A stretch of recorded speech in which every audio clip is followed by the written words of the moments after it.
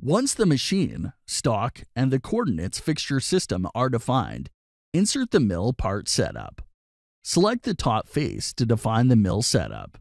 Since it is a three-axis operation, select the multi-surface feature checkbox and choose the drop-down's constant step over strategy. Generate operational plan and toolpath.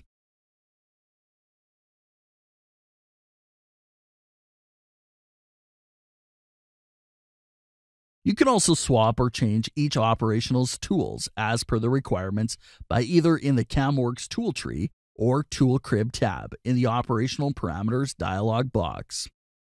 Insert new Contain Area to Constant Step Over Operation.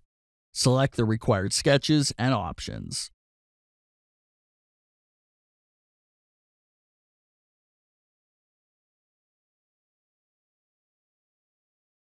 Click OK. Now insert a new avoid area to constant step over operation. Select the required sketches and options.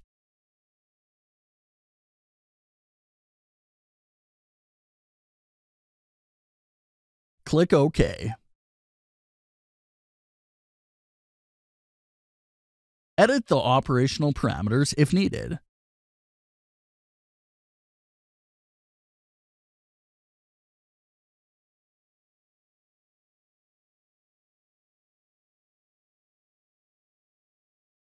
Click the Preview button to preview the tool path.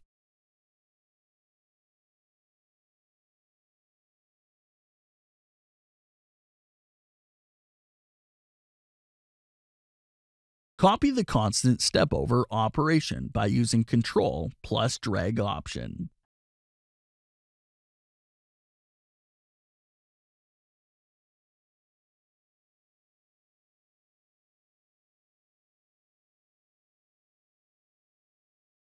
And delete the avoid area 3 from the operation. Edit the contain area 3 and generate a toolpath.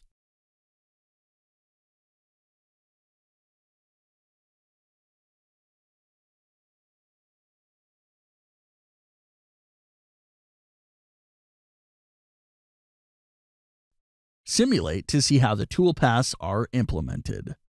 Add another constant step over operation and contain area to the mill part setup 1 for better output.